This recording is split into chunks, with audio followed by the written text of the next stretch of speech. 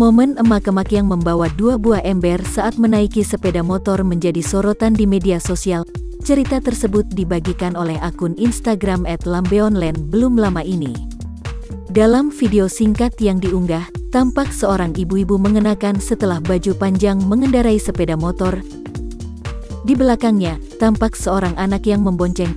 Mereka menaiki sepeda motor sambil membawa dua buah ember berukuran besar. Satu ember diletakkan di bagian depan sepeda motor, tepatnya di belakang setir. Sedangkan ember lainnya yang berwarna hijau diletakkan di bagian belakang. Namun, ada yang aneh dengan ember hijau tersebut. Ember tersebut dibawa dengan cukup unik. Ember itu diletakkan dengan posisi terbalik di badan sang anak sehingga anak itu tampak memakai helm raksasa yang menyelimuti tubuhnya. Mereka terlihat melaki di jalan raya dengan berhati-hati, Melihat video tersebut, warganet langsung memberi perhatian. Mereka memberikan beragam tanggapan kocak.